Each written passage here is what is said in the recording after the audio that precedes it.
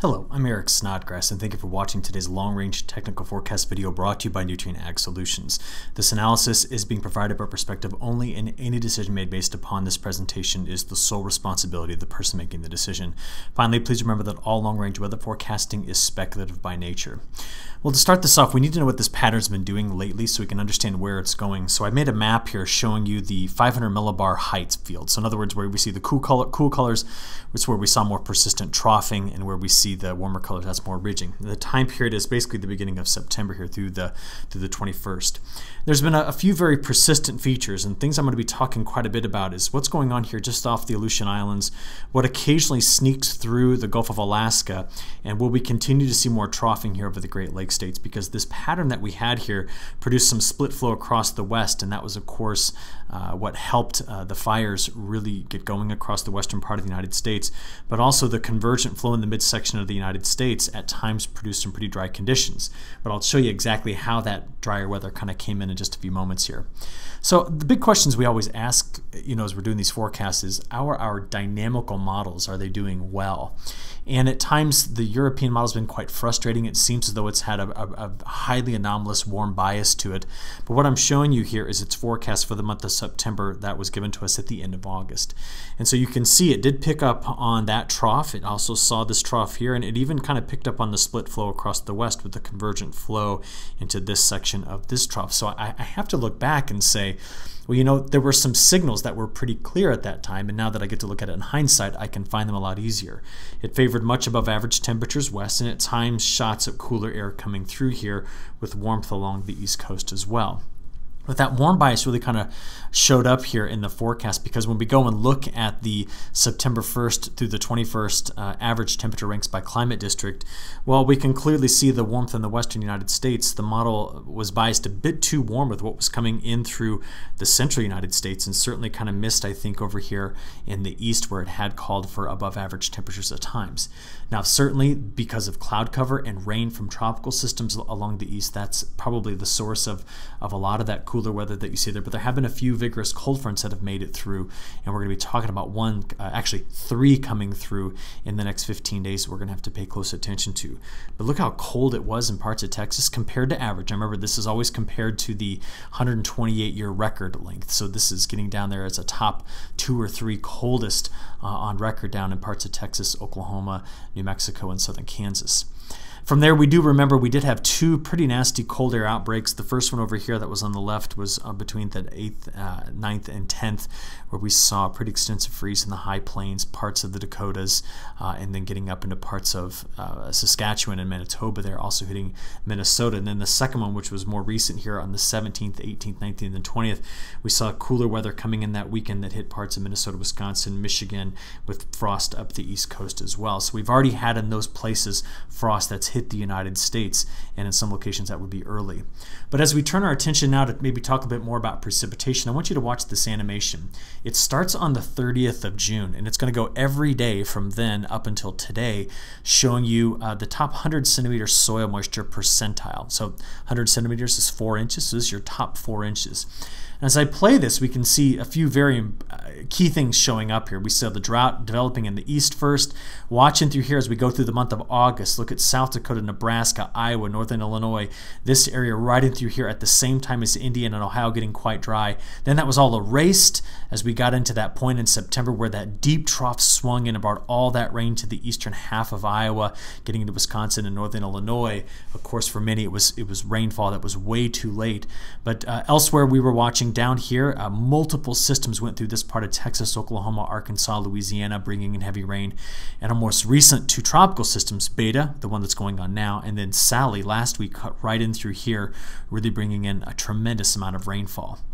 From there, I would like to show you for September so far what the precipitation ranks look like. And we can see the effects of those tropical systems. And of course, these numbers in through here will be coming up as we finally see what beta does here. Uh, but that heavy rainfall from that cutoff low, remember the one that came in like this and then took off toward the Great Lakes?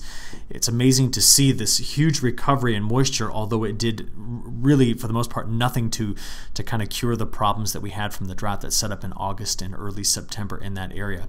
It has been quite dry in the northern plains. It's been very dry in the northeast, although Teddy is uh, up here now. Uh, was bringing in some scattered uh, showers and some stronger winds and very rough seas. But if you look off to the west, uh, it's been extremely dry uh, out there, and that's been a continuing problem for a while and something we're going to continue to see in the near term here.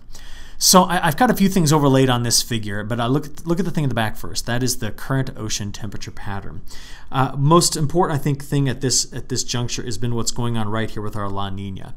As you can see, it has been strengthening, and the blue line in the graph in the bottom really kind of indicates that we now have our values down here almost to a full degree Celsius below average, and so this is a robust La Nina.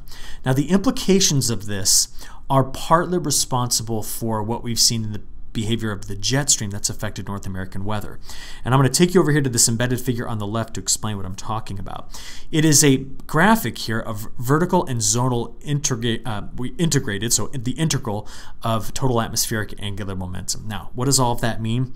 Well, we'd like to know where the atmosphere is gaining momentum and where it is losing momentum. And this is res with respect to a flow that comes from the west to the east. So we know that during uh, La Ninas we have strong trade winds, right? So this right in through here, whoops, let's draw that in black for you. That right in through there is the momentum loss in parts of the tropics due to this developing La Nina. In other words, our stronger uh, uh, uh trade winds in that area. And we can see that it's kind of fanned out, going toward the north and some to the south here, and pulling through the sub uh, the subtropics into the, the polar latitudes. And again, I'm talking about here like 30 degrees north to 60 degrees north. And that is part, I think, of the reason why we're seeing the pattern evolve the way it is as we finish September and begin October.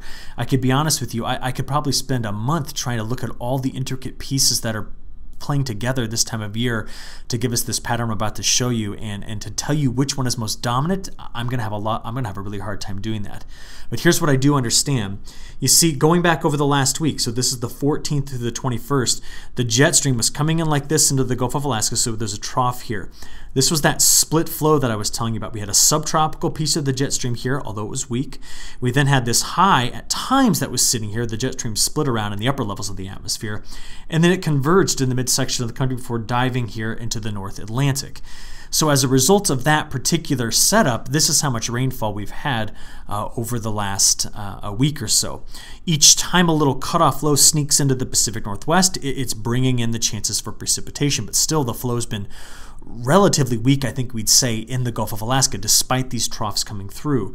Where the convergence happens, you can see right in through here, it's dry, and it would have been drier farther to the south had Sally not gone through here and now Beta came into this area. We'd had a much, much drier eastern half of the United States if those two tropical systems would not have raced through that area. And yes, they put down some extremely heavy rainfall on their way through. As we see this forecast moving forward, let's just stick with our theme here on the jet stream. You notice that as I just take you out the next couple of days, this is Friday. Look at how zonal the flow is across the Pacific. That means west to east flowing. You see, going from here out to day 10, now the jet stream instead takes on a much different path. Look at how much more amplified the flow becomes as you get downstream. So something has kind of triggered this to go into a much more meridional north-south flow than it has than it than it's going to be here in the near term. And is it something going on over Asia? Uh, is it something going on with the loss of momentum in the tropics? Does it have something to do with the MJO curling through phases four, five, six? It's a combination of all of those things, but the result is that over the next few weeks, this ridge building to the to the west here and the trough diving out of the the, the northeast here is going to be a significant part of our flow and seems to be the way things are going to be uh, kind of moving as we go forward here. So kind of keeping that in the back of our minds here, I would like to show you what this is going to do and uh, the most important players as we look in this longer term. Here's our next trough cutting through the Gulf of Alaska. As I play this forward, you can certainly see that that trough pushed through the Canadian prairies and then dives here into the Great Lakes. And what's supporting the depth of this trough is the fact that there's a reinforcing upstream trough coming off of the Aleutian Islands once again. So what does that do? Well, those troughs dig, and in between them, a ridge builds. I mean, this is a pretty solid and robust pattern that is one that will tend to become blocked. In other words, not move much over a time period of maybe five, seven, ten days. And as I get you out here to the beginning of, of October, this seems to be the way the atmosphere wants to shape up. In fact, I'm all the way now to October 5th, and 6th, and we still see the evidence of a trough somewhere here between the Aleutian Islands and the Gulf of Alaska, and then something here extending from the Hudson Bay down to the southeast with more ridging in the western United States. And if that's the pattern that we are going to see set up, well, as that trough dives in here, watch, coming out of the Canadian prairies, there it goes, Saturday into Sunday, Monday. Yeah, it cuts into the northeast and brings in the precip. But other than that, you see this narrow band in through here? That, which possibly gets into the eastern corn belt and then into the northeast, is about it. So it's coming out of the prairies and cutting through here, which means if you're in this area, the probability, I know I'm kind of just drawing here with my, my cursor, but that area the probability of there being precipitation is quite low. And remember, this is all from beta coming in through here. Now we do have to ask, is the are the tropics going to continue to be active? And I'll, I'll make a case for why I'm going to watch uh, Bay of Campeche, parts of the Gulf, but the Caribbean here in a few moments. But if you just compare what I just showed you to normal, well, where the trough initially digs into the northwest, it's going to be wet, and we might even get some rain into the Columbia Basin, but it's going to be right in through this corridor here, spreading out into the eastern Corn Belt. I think we're going to get some rain in through this area, then pulling to the northeast. And again, this is what's left over from beta when you look at this 10 day forecast. So if we remind ourselves what things will look like at day 10, the, the, the pattern both in the GFS and the European are both consistent with a ridge here and troughs in this area. And I can almost count like a, a four wave pattern here. Do you see it? There's ridge, ridge, ridge, ridge, and then there are four troughs. And so is that pattern going to be a longer wave pattern and therefore resist change, or will there be a few more features that can help move this along? Because as you look out exclusively, exclusively excuse me, into week two, the European model through October the 7th has a very dry pattern forecast here for much of the United States. And the GFS, which is over here on the left, and by the way, I did get the 12Z GFS into this forecast video. The European still a few more hours away from, from running before I could, uh, and I had to get this recorded. But I do want to make the point that this is an area that the models keep consistently want to produce something out of the tropics. But remember, if the flow pattern's like this, the odds of getting something to come out of the tropics and cut through that trough and get into the eastern part of the United States, that's very hard to do. In other words, these synoptic scale jet stream winds would take anything that develops here and just race it on out to the open Atlantic, which is why we're seeing some suppression of our tropical season right now. So just giving you an idea here, this is what the next five days looks like from the National Hurricane Center, and they don't have any new development here, the Caribbean or the Gulf. So it's just Teddy, which is going through the Canadian Maritimes, and Beta, which is going to be very slow, but move toward, you know, the Carolinas and Virginia by the weekend. Other than that, well, the upper levels of the atmosphere are a bit in a, a suppressive mode uh, over Africa, getting into the open Atlantic. And that's partly due to where the MJO is currently sitting. See, back in August, came through phases 1 and 2, and then as September began, it got into 3, 4, and it's kind of sitting in this area, which is phase 4 and 5 is giving us good upper level support here and that's partly why you know if you just think about the atmosphere breathing we've got some suppression in these two areas with more rising motion here in between. So this seems to be the way the MJO is affecting things. Now let's turn this over to a discussion on temperatures. I'm just going to play this for you. I want you to watch the pattern. This is every day for the next seven days. Here's Wednesday's highs Thursday Friday Saturday. Now watch as we get into Monday and Tuesday that's when the pattern gets established with that broader trough over the Great Lakes and the heat returning to the west. You can see the temperatures really skyrocketing here. And because this pattern, I think, tends to stay in this configuration for a while, uh, this is what we end up getting here from the 6 to 10 day forecast from both of our major modeling centers, the GFS left and the European right. And, and that would be very consistent with that pattern, right? And you can you can see it in both models a little bit oops sorry you can see it in both models a little bit different projections here but it's the same idea in the flow here. And this is what things look like days 11 through 15 so my problems here for the west this is going to once again um, be a pattern that is more conducive to uh, fires and heat uh, and dry conditions and at times even windy. And while we're over in the east, um, we're going to have to just watch out for each one of these shots of cooler that come through as to increasing our, our probability of, of getting a frost. Um, at this point, it's nearly impossible for me to nail down in that longer range time period how far to the south we might get a freezing temperature, but I, I want you to know that I'm watching it. So we now do what we did at the beginning. We say, okay, well, what are the models saying for October? The models, uh, what you're looking at here is the flow through October 21st, and you can see how persistent the model is with that trough coming somewhere between the Aleutian Islands and the Gulf of Alaska. So if you just kind of follow the flow of the atmosphere, it's doing this. And a question I have over here on the right is the seasonal forecast, which means the monthly forecast from the European, really wanted to paint a big ridge here. Remember me talking about it for the last couple of weeks. Now, we clearly know that that's not going to develop at the beginning of October, but will it develop toward the end? That, that's a question we're going to have to be watching and, and trying to answer. Because if it does, then that would lend to a warmer October. At this point, though, what I really want to stress is over the next month, so from today through this point in October, the probability of being wetter in the western, northwestern, excuse me, the northwestern United States is higher. We've now seen both the uh, European and the CFS V2 paint a corridor in through here over to drier conditions, which means this will really, I think, push along harvest quite quickly. And this map right here does include beta. That's why this area in through here looks so wet at this particular point. To continue on this idea, if there's some multi-model support in this, what I've got for you next here is from the CFS V2 model, but we're only looking at week 3 and week 4. So this is October 7th through the 13th, then the 14th through the 20th.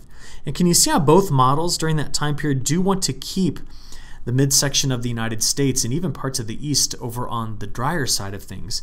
And this model also wants to keep a lot of that heat to the west as well. And I'll be honest, I think in the last three weeks, the CFS V2 has been better at week three forecasting than the European has it picking up on this pattern, which again favors cooler weather to the east as we look out here uh, to the, the third week of October. So uh, piecing together again uh, these components is, is quite challenging at this point, but certainly La Nina is one of our dominant signals, something that's going to be around for quite some time. Tomorrow morning, I will be addressing the drought issues we're experiencing in parts of the Black Sea region, including the Russian wheat belt. And we'll also talk more about uh, rains for South America, so look forward to that forecast coming out tomorrow morning. But until then, we've got a pretty dynamic pattern to be watching here across the US and Canada as we progress through the month of October.